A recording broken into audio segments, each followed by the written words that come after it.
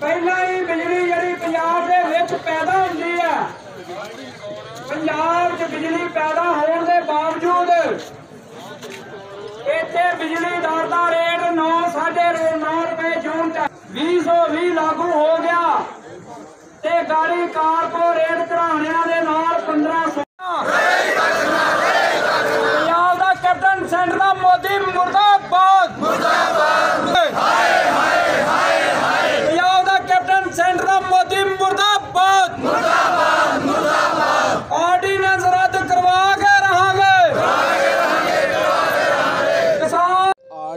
Ordinance ਜੋ ordinance ਕੇਂਦਰ ਸਰਕਾਰ ਜਾਰੀ ਕਰਨ ਜਾ ਰਹੀ ਆ। ਦੇਖੋ 70% ਪੰਜਾਬ ਦੇ ਵਿੱਚ, ਹਰਿਆਣੇ ਦੇ ਵਿੱਚ ਖੇਤੀ ਤੇ ਨਿਰਭਰ ਕਿਸਾਨ ਹੈ।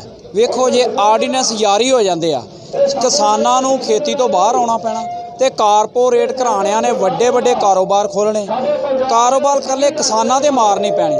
ਜੋ ਛੋਟਾ ਮੋਟਾ ਕਾਰੋਬਾਰ ਆ, ਦੁਕਾਨਦਾਰ ਜਾਂ ਕੋਈ ਵੀ ਛੋਟੇ ਕਾ- ਕਾਰਖਾਨੇ ਆ, ਕੋਈ ਫੈਕਟਰੀਆਂ ਸਾਰਿਆਂ ਨੂੰ ਥੱਲੇ ਤਬਾਹ ਹੋ ਜਾਣਾ ਤੇ ਐਡੀ ਤਗੜੀ ਮਾਰ ਦੇ ਹੇਠਾਂ ਪੰਜਾਬ ਦੀ ਕਿਸਾਨੀ ਨੂੰ ਆਉਣਾ ਪੈਣਾ ਵੀ ਉਸ ਦੇ ਵਿਰੋਧ ਵਿੱਚ ਅਗਲਾ ਅਗਲਾ ਆਪਣਾ ਜੋ ਇਹਨਾਂ ਦੇ ਸਾਹਮਣੇ ਦੇਖ ਰਿਹਾ ਹੈ ਉਸ ਹਾਲਾਤਾਂ ਨੂੰ ਦੇਖਦੇ ਹੋਏ ਪੂਰੇ ਪੰਜਾਬ, ਹਰਿਆਣੇ ਦੇ ਕਿਸਾਨ ਤੇ ਬੀਬੀਆਂ ਇਸ ਤੋਂ ਬਾਹਰ ਆ ਚੁੱਕੇ ਨੇ। ਘਰਾਂ ਤੋਂ ਬਾਹਰ ਆ ਚੁੱਕੇ ਨੇ ਵੀ ਇਸ ਆਰਡੀਨੈਂਸ ਦਾ ਅਸੀਂ ਡਟ ਕੇ ਵਿਰੋਧ ਕਰਨਾਂਗੇ। ਜਿੰਨਾ ਚਿਰ ਤੱਕ ਇਹ ਆਰਡੀਨੈਂਸ ਵਾਪਸ ਨਹੀਂ ਲਏਗੀ, ਸਰਕਾਰ, ਮੋਦੀ ਸਰਕਾਰ ਨਹੀਂ ਲਊਗੀ ਉਹਨਾਂ ਚਿਰ ਤੱਕ ਸਾਡੀ ਜਿਹੜੀ ਲਿਆ- ਲੜਾਈ ਆ, ਉਹ ਜਾਰੀ ਰਹੂ। ਅਸੀਂ ਕਹਿੰਦੇ ਆ ਵੀ ਬਿਲਕੁਲ ਉਹ ਜਿਹੜਾ ਸੰਵਿਧਾਨ ਬਣਾਇਆ, ਉਹ ਸੰਵਿਧਾਨ ਤੇ ਪੂਰਾ ਉਤਰਦੇ ਹੀ ਨਹੀਂ।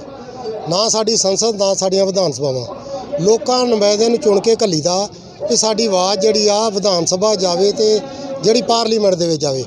ਪਰ ਉਹ ਆਵਾਜ਼ਾਂ ਜਾ ਕੇ ਕਾਰਪੋਰੇਟ ਘਰਾਣਿਆਂ ਦੇ ਹੱਕ 'ਚ ਇਹਨਾਂ ਦੀਆਂ ਨਿਕਲਦੀਆਂ।